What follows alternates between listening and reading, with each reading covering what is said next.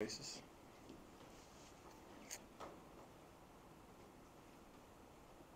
Already no questions, huh? I doubt that. Brian Allen from Below Daily Yep, how you doing, Brian? What was the, the process like for you going from the analyst to getting this full-time, and then what's your excitement level, um, getting back into the coordinator role?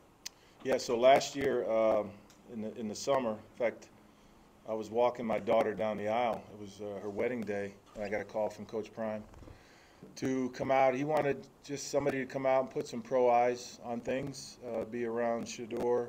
You know, it was had to be kind of an unofficial deal. Um, as an analyst, you know, you really don't have a defined role. You're just helping with the coaches and whatnot. And so that's where it started. And then when I got here, as time went on, we all know kind of what happened. Um, but and things happen for reasons, you know. And then um, just tried to take over at the end. You know, unfortunately, at the end, you know, of the four games that I was calling, really Shedeur was only really healthy for one of them. Uh, unfortunately, you know, the Oregon State game, he kind of came in banged up. You know, we had tried to change gears then. He was kind of banged up all week, you know, and he struggled through it. Um, the next game against Arizona, did a you know did a good job. We, you know, we were in a position to kick a field goal for the win. Um, I think we scored 31. You know, the next week we kind of got worked when we went to Washington State. Well, he was hurt again, so he was in and out of the lineup. We played three quarterbacks. It was a tough scenario, but they battled through it. And then the last week against Utah, you know, we really tried to slow it down and give Ryan Staub the best opportunity to uh, play a good game, which I thought he did. Um, so, you know, we're kind of working the throttle and trying to get through it and win games. And unfortunately, we didn't win the games, but, um, you know, it was, uh, I guess every experience in life is something you can learn from, you know, and uh, so then we move on, and now we're able to kind of set some stakes in the ground and do some things that we need to do better to play winning football. You know, we, winning football is what you need to do, and it obviously starts by being able to run the ball and protect the passer. You know, we obviously know how dynamic Shedeur can be. Um, you know, it was a credit to our guys this offseason. They went out and got us some quality big people that will help us be able to do that so we can play winning football. You know, uh, thought early in the year, you know, we did some really good things. But then when we had to really drop our anchor and block guys and, you know, run the ball, pass the ball, and do more things, that's kind of where we struggled. And then it just kind of vibrates through your team. So. Hey, Coach, Jake Schwanz, DNVR. Uh, last season, Dylan Edwards really exploded onto the scene, and then you guys, he struggled to kind of get back to that production. Um, how do you project his role just this year? Any changes to what you expect out of him? Yeah, we're going to try to use his, you know, his talents and his strengths. Obviously, he can be very dynamic with the ball in his hands. You know, he had a lot of production early on, and as the season wore on, you know, I think it's fair to say um, he got kind of banged up too. I don't think there's the same injury criteria, so we can talk about that stuff, unlike the other league, right? Um, but he was pretty banged up, and he fought through it, and uh, so we're going to try to use his strengths uh, this year and, and do it from day one. So practice plays here in training that maybe you won't see that we're going to plan to use, you know, whether it's style of run, running, um, running them to the perimeter, uh, catching passes, try to utilize his strengths and practice them early and just not try to crank up plays like midweek for them. Um, so that's sort of what we do. Um, and it's really, I think that's kind of the NFL thing. Um, you know, you're always trying to um, maximize the strengths of the players you have first. Like we talked to the quarterbacks about the four pillars of decision making. It starts with matchup, and then it's space, numbers, and leverage. You know, but you always got to be aware of okay, is Travis in the game? Uh, is Dylan in the game? And utilize all your players that way, which is a little bit different than um, just kind of running plays. You know, and so we're going to try to try to do that um, do that well. Try to. Coach Smith, 104.3 The Fan, good to see you. And to follow up on Brian's question, throughout the transition of last year, I imagine spending 25 years in the NFL and then coming back to college, that's quite the transition. Did you feel maybe re-energized by the fact around maybe some younger guys and had a chance to look at the game a different way?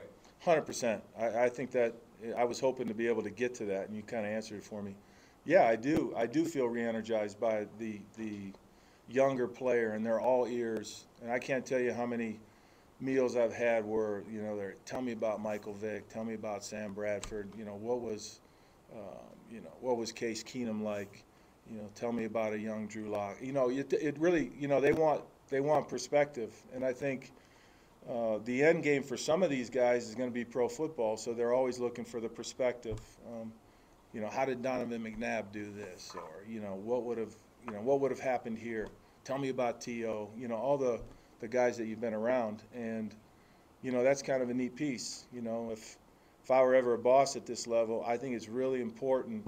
Whatever their role is, you should really bring in guys with pro experience to help give these young men that perspective. And so that's been fun, but it's a different game than the pro game. You know, the pro game, like we're in 10 personnel a lot.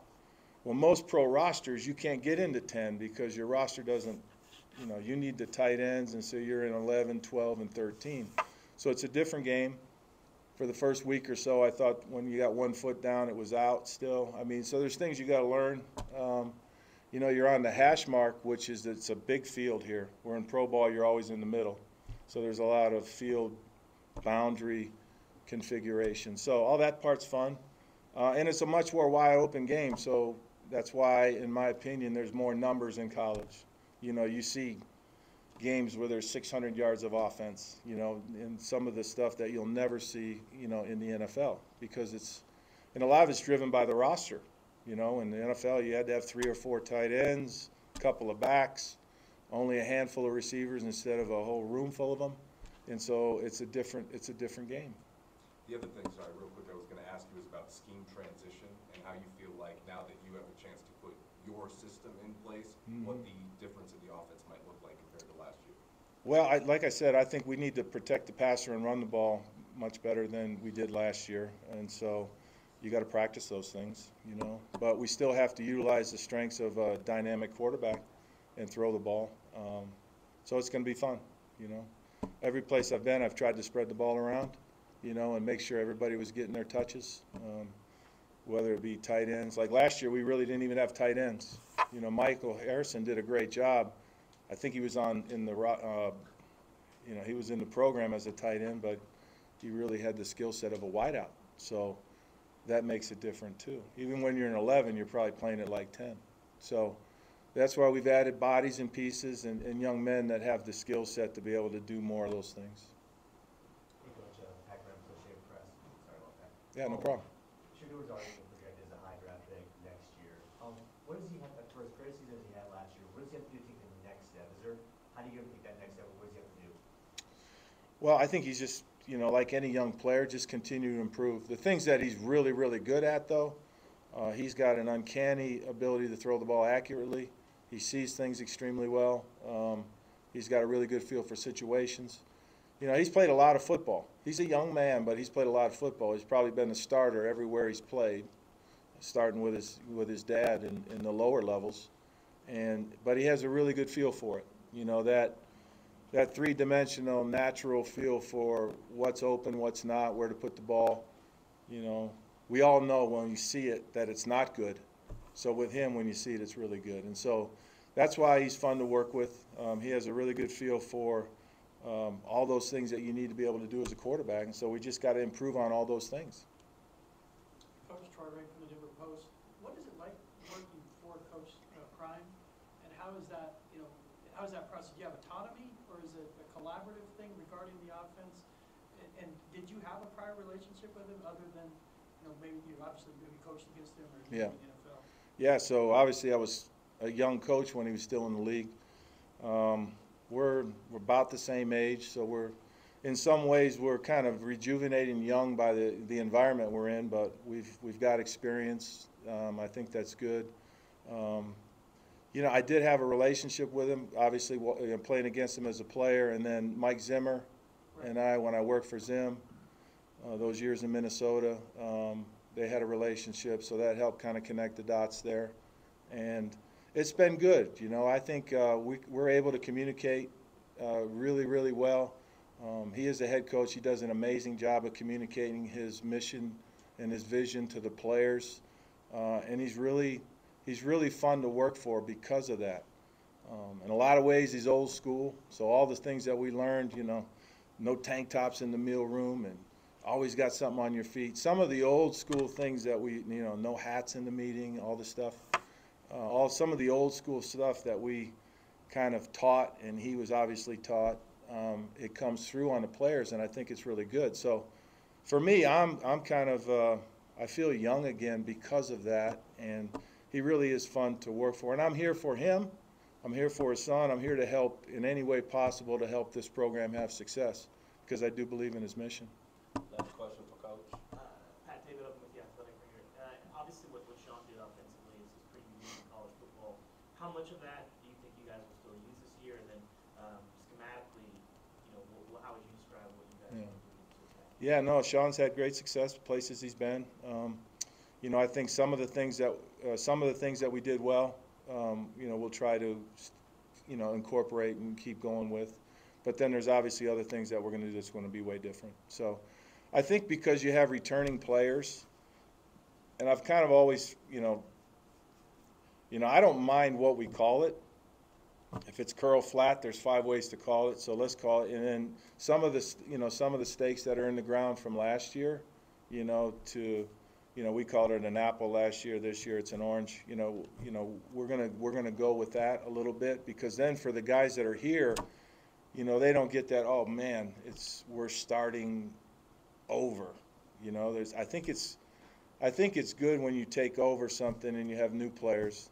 Um, that if there's something they can hang their hat on. And so what, basically what we're gonna do is go back and look at the things that we did well last year that we continue to like, and then add things to it that will help us be even better. That's, and, and really, believe it or not, they're doing the same thing in the Kansas City Chiefs building.